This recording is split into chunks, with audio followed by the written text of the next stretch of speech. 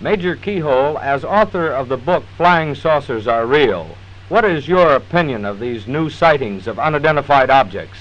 With all due respect to the Air Force, I believe that some of them will prove to be of interplanetary origin.